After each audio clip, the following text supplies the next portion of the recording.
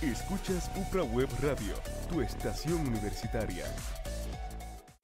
La Universidad de Puerto Rico en Arecibo ni esta emisora se solidarizan necesariamente con las expresiones vertidas en el próximo programa. You're listening to What's on the Net on Oprah Web Radio.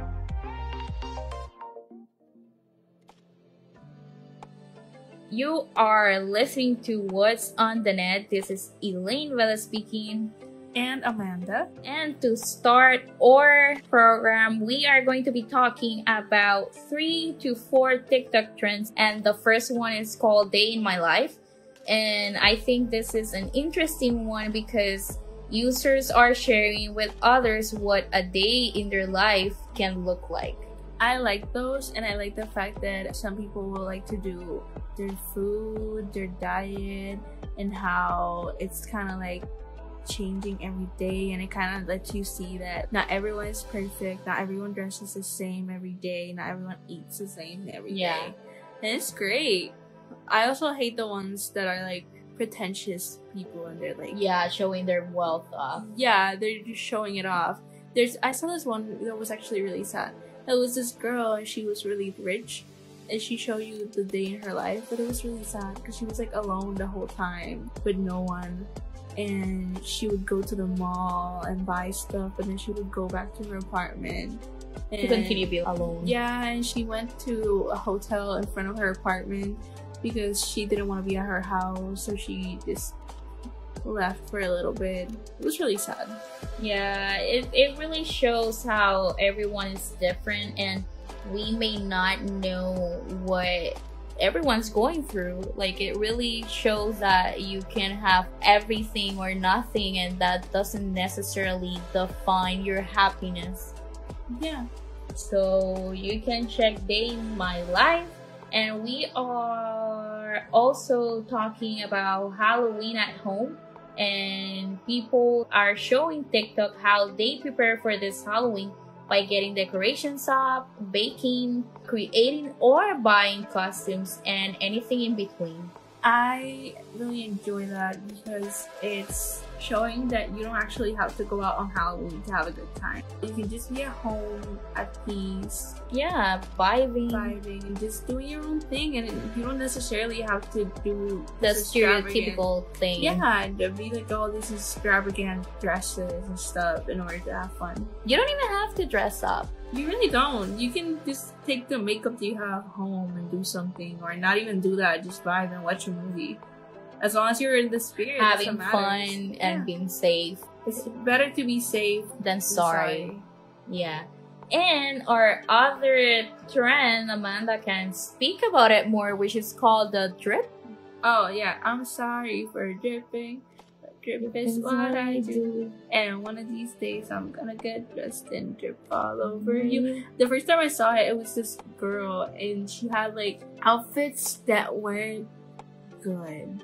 Not that they weren't good, they were her style. And it was very unique. Okay. I don't want to bash her, but it, it was like different from like things that everyone wears every day.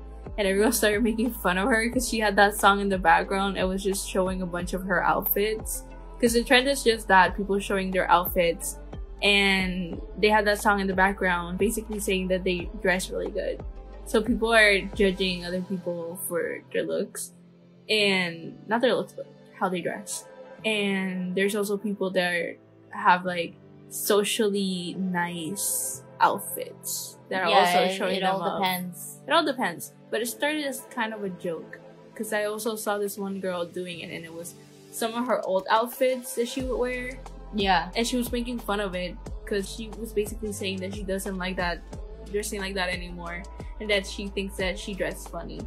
Yeah. And then, like, you scroll through her. yeah, it's how when you look at pictures or old videos of yourself and you you're just like in shock in a way of how you used to act or what you used to wear your makeup like, which is a trend that that happens sometimes in YouTube where makeup gurus are recreating their old looks for the Kinda laughs like that, but with with clothes. outfits. Yeah. Yeah.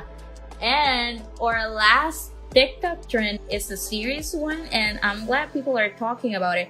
and it's the breast cancer awareness and they're using this 60 seconds or so that you have on TikTok to remind people to check themselves and to take care of their bodies. They also share tips and signs to look out for and what to do in case you think you may have breast cancer and they also encourage users to not be scared to make sure with a medical professional which i think is really great because we do talk about breast cancer awareness but a lot of people are scared of what they might find if they look for it that they don't. Yeah, but it's it's essential to every year get checked. Yeah. to check yourself every couple of months or something. And also know that it's not only in the breast area, it's also in the armpits, it's also in how you feel uh, your day to day. There, there's different signs of having it. It's not just one. And you really need to be careful and really look out for it because if it's treated at the right time, you can be healthy really fast and you can continue living your continue life living your life how you want how you want. It's really important for you to get it checked and have it checked as soon as possible. yes so please do i know it can be scary but do take care of yourself and if you don't want to go to the doctor alone you might bring a friend or someone that you trust wholeheartedly I had a scare, uh, like a couple, I think it was two years ago.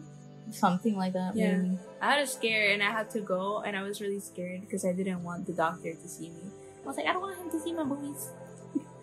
so um, I was really scared, but it ended up being nothing. And I'm happy that I went because I couldn't keep on living like not knowing not knowing. It's scary. It's like a really serious issue. So you need to get tested. You need to get checked. Yes, please do so. And talking about Twitter moments, I think this first one is Amanda's and I favorite at the moment, and it is the Rihanna Savage X Fenty Volume 2 fashion show. Speechless. Iconic. iconic. It's one of the best things that has happened this year. Very beautiful, very artistic. 10 out of 10. Beautiful, brilliant, amazing, show stopping. A masterpiece. A masterpiece. we'll watch it again, probably. I mean, I've seen it two times already. I'll probably, um, I saw some, uh, um, a new update. Yeah. I have a section that it, it's like a square, and I just put my favorite person, artist of the month there. And I put Jesse from the neighborhood. And like the day after it, I saw the pictures of Rihanna And and the show, and I was it. like, no, I need to change it.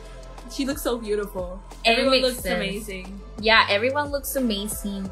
The inclusivity and representations are off The the, charts. charts. Amazing. Yeah, like you definitely see a bit of everything and Actually, everything yeah, from skin color to, to body type, type, to height. height, everything, male and female. Yeah, and I really love that. And the sets and everything, how they shape them, the way they use them, The creativity. everything looked amazing. is very different from the volume one, and that's not a bad thing at all. So if you love performances, if you love fashion shows or lingerie, or just, you know, seeing the different types of art that people are creating, I definitely recommend you That check it out. that fashion show really used every type of art in one. Yes, From we stand. Creativeness and fashion to music to the sets, the colors, everything looked amazing. Yes, it was great. And another Twitter moment is Anne Hathaway's look for the posters of the adaptation of The Witches for HBO. She looks I saw it. stunning. She looks stunning, and it looks so much like the Original. the original. I was in shock. I was, I really it, it was it looks amazing. I'm so ready for it. Yeah, I cannot wait to see this in action. But now talking about what's new on social media, Pinterest is providing cultural context on Halloween costumes, which I think is amazing on their part. And they are doing this as a way to highlight the cultural significance of certain costumes in order to help users avoid misusing common themes and ideas. That's one of the best upgrades that they could do. Yeah, definitely. Because a lot of people sometimes think, well, maybe this is okay for me to wear, or, but you're disrespecting a culture wow. without knowing it. So I think that Pinterest doing this is great. And a quote that they have said is that costumes are consistently a top search term but many people may not know that certain costumes are appropriations of other cultures and as a platform for positivity we want to make it easy to find culturally appropriate Halloween ideas and bring awareness to the fact that costumes should not be opportunities to turn a person's identity into a stereotyped image. And I really love that. I really love that because last year, one of the biggest ones after like on my blog and everything yeah. came out, it was the cholo outfit, mm-hmm. and that's cultural appropriation and rude and rude. And no don't don't do that. Don't Just be that research person. research your what you're gonna wear and what you're gonna do before. Yeah be, be conscious. Careful. yeah be conscious and don't do anything that will hurt other people. On other news, we have that Twitter has decided to reiterate the rules against wishing harm on others due to the massive anti-Trump tweets that has flooded the platform. I saw a tweet about this yesterday that I agree with a lot, and is that Twitter is doing that now because it's Trump. But where were they when trans people were getting bashed and they're still getting bashed and they're still getting hate comments and stuff? Which is, they're like, we spread positivity and we try our best to help, but in that sense, there's a lot of people that are still getting hateful getting comments. hateful comments, getting death threats and all that, and they're doing nothing about it. I don't know. It's kind of like it's a double 50, standard. 50. Yeah. It depends on who it is. I really hope that Twitter can get a better handle on these things because honestly, wishing harm on people just for who they are is not. It's not great. It's not great. So I think. I mean, I get it because social media is massive, but we can really try. Go, can't really go person by person. So if you see a negative tweet, please don't hesitate and report it because you know we cannot just stand by Let and watch. Yeah, be part of the change you want to see and when we get back, because we're going to be taking our break, we're going to be talking about streaming platforms, so stay tuned.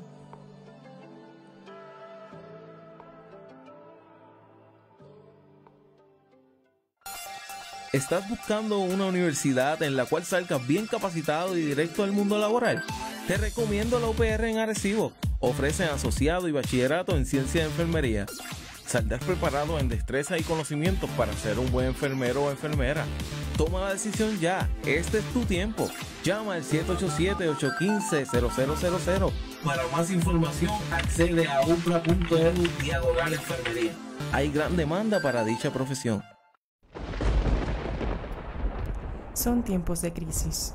Dentro de ti mismo eres libre de sentirte como quieras. Pero tu felicidad es tu elección, no la de nadie más. En caso de crisis emocional, visita el Departamento de Consejería y Servicios Psicológicos de la UPR en Arecibo. Pide ayuda, oriéntate, visítanos. No permitas que nadie opaque tu felicidad. Llámanos al 787-815-0000, extensión 3650. ¿Estás confundido y aún no sabes qué estudiar? El Departamento de Ciencias de Computadoras de la Universidad de Puerto Rico en Arecibo ofrece un bachillerato en informática completamente dedicado a la programación de sistemas operativos y bases de datos. Además, cuenta con laboratorios profesionales de tecnología avanzada. Para más información, comunícate al 787-815-0000, extensión 3300. El Departamento de Ciencias de Computadoras es para ti. Welcome back to What's on the Net. As we said before, we're going to be talking about streaming platforms. And before we continue, this is Elaine Vela speaking. I have Amanda with me. Hello and welcome back. And Netflix is going to be premiering the season two of Fast and Furious Spy Racers, which is this October 9, which means this Friday it will be arriving at the platform. And this is an animated series for kids and family where a government agency recruits teen driver Tony Toretto and his thrill seeking friends to infiltrate a criminal street racing circuit as undercover spies. The cast seems really nice. Yes. I think they're, they're a good choice. Yes, they are. They have Tyler Posey, Charlotte Chung, Jorge Diaz, and Luke Youngblood as part of it. And one film that I'm looking forward to is the Trial of the Chicago 7 that comes out this October 16 and it is a film based on the 1969 trial of seven defendants charged by the federal government with conspiracy, inciting to riot, and other charges related to anti-Vietnam War and countercultural protests that took place in Chicago, Illinois on the occasion of the 1968 Democratic National Convention. And in case you're wondering, the cast includes actors such as Eddie Redmayne, Joseph Gordon Levitt, Sacha Baron Cohen, Jeremy Strong, and Mark Rylance. So if you're a fan of any of them, you can expect to see them on the trial of the Chicago 7.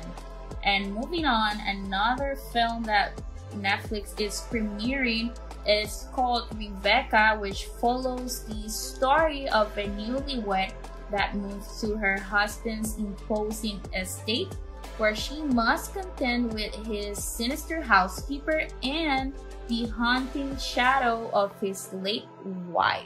Oh, it has Armie Hammer. Yes, the cast has Armie Hammer and Lily James. They're gonna be playing the couple. And they also have Kristin Scott Thomas and Keeley Hawes. So that's a very interesting film. And I can't wait to see it this October 21st. Meanwhile, Hulu is going to be premiering Scream 4.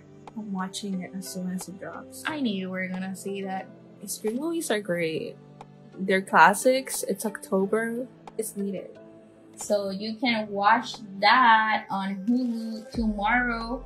And October 11 can see a film that's called Savage Youth and it follows a story where six young lives collide in the most horrific and twisted of ways and it is based on true events. That seems interesting. And on October 12th, they're going to be premiering The Swing of Things. And this is a comedy film where a groom to be accidentally books his destination wedding and honeymoon at a swingers resort in Jamaica. And part of the cast is Olivia Culpo, Cord Overstreet, Adelaide Kane, which I love her, and Luke Wilson. So if you're looking for something to laugh with or at, That sounds really funny though. Like, yeah, how did he? mess I would up. watch it. Yeah, How, how did you mess that up? we don't know. It was probably Trivago. We're gonna know this October 12th. And finally, Disney Plus is adding a few things on October 16th. and one of them is Lost on Everest. and it is a documentary that follows a team of climbers that are setting out to find Arvin and his climbing partner George Mallory and more specifically the camera that they had because if it is found it can rewrite history and that same day the episode 4 of magic of Disney's Animal Kingdom is coming out, as well as Marvel's Iron Man and Captain America Heroes United.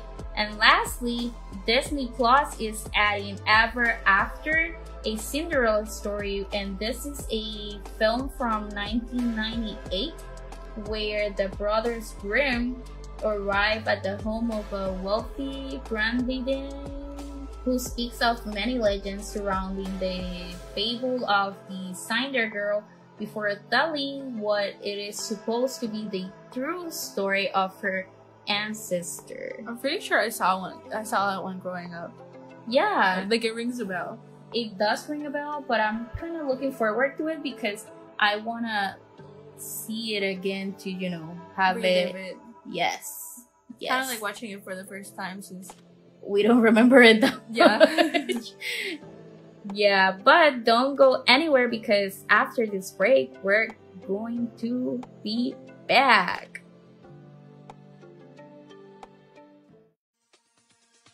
¿Estás confundido y aún no sabes qué estudiar? El Departamento de Ciencias de Computadoras de la Universidad de Puerto Rico en Arecibo ofrece un bachillerato en informática completamente dedicado a la programación de sistemas operativos y bases de datos.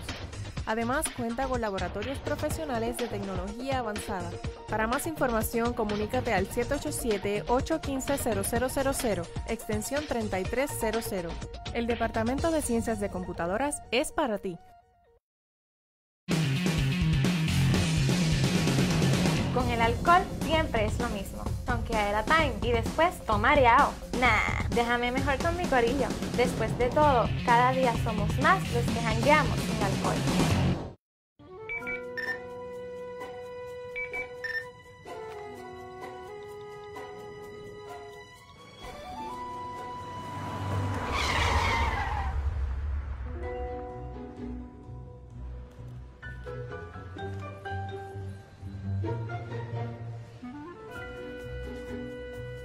En el celular no son ojos para guiar. Evita una multa o un choque fatal. Al guiar, frena el celular. Mensaje de la Comisión para la Seguridad en el Tránsito. And this is what's on the net. The name is Elaine Velez. Amanda here. And we want to thank you for listening to us this afternoon, evening. We hope you continue to do so every Monday and Wednesday from 4:30 p.m. to 5 on Upra Web Radio and we'll see you next week. Period.